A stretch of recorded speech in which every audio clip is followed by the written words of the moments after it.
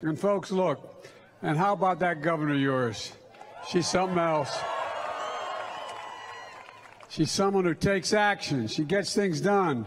New York, you've got you've got two days, two days to make sure the rest of New York knows the good that they have in Kathy Hochul. Two days until one of the most, and this is, I, I know I don't look it, but I've been around a little while. Somebody said my birthday's coming up, and I said, no, that must be somebody else. Hey, that's, hey, uh, uh, let them holler, let them holler.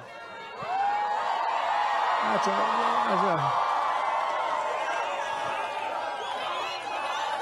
uh, that's more like my generation.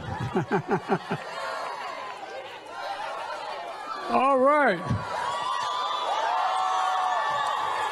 I'm with you. Hey, anyway, look, two days is the most important election in our lifetimes. It's going to take shape in this country for decades to come. We're one of those inflection points.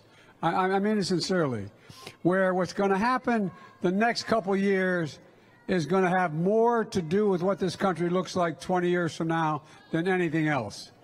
You know, let's be clear. This will. Well, let Joe talk, okay? And we'll go talk about okay? Look, this election isn't a referendum, it's a choice. It's a choice between two fundamentally different visions of America.